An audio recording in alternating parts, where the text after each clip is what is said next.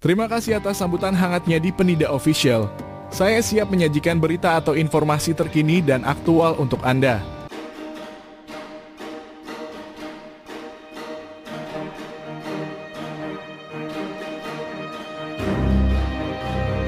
Polisi telah mengungkap fakta bahwa Chandrika Cika telah menggunakan ganja selama lebih dari satu tahun.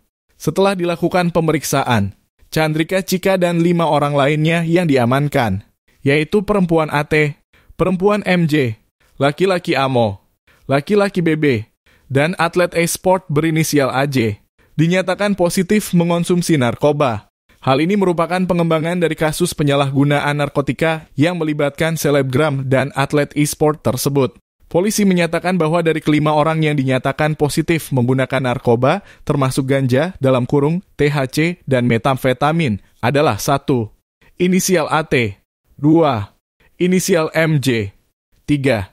Chandrika Cika dalam kurung CK, 4. Inisial AMO. Sementara itu, orang yang dinyatakan positif menggunakan metamfetamin dalam kurung MET adalah satu, Inisial AJ, 2 inisial BB. Polisi telah menangkap selebgram Chandrika Cika dan lima temannya terkait penyalahgunaan ganja. Mereka diduga terlibat dalam penggunaan ganja dalam satu lingkaran mereka yang menurut polisi dianggap sudah lumrah. Ini menunjukkan bahwa polisi mungkin mengidentifikasi tren penyalahgunaan narkoba di kalangan selebgram dan lingkungan sosial mereka. Langkah penegakan hukum seperti ini penting untuk menegaskan bahwa penyalahgunaan narkoba tetap merupakan pelanggaran hukum terlepas dari status sosial atau popularitas seseorang. Menurut Wakasat Narkoba AKP Reska Anugras, para tersangka telah menyatakan bahwa mereka tidak memiliki tujuan khusus dalam menggunakan narkoba seperti doping atau tujuan tertentu. Namun mereka mengakui bahwa penggunaan narkoba sudah menjadi hal lumrah dalam lingkaran pergaulan mereka, di mana mereka sering menggunakan narkoba bersama-sama.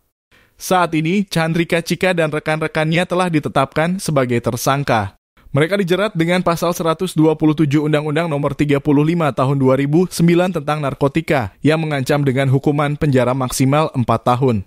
Ini menunjukkan seriusnya penegakan hukum terhadap kasus penyalahgunaan narkoba, bahkan di kalangan selebgram dan dalam lingkaran pergaulan sosial. Sekian berita yang dapat kami sampaikan hari ini. Sampai jumpa pada waktu berikutnya dan berita selanjutnya. Jangan ragu untuk subscribe dan memberikan komentar. Salam dari Penida Official.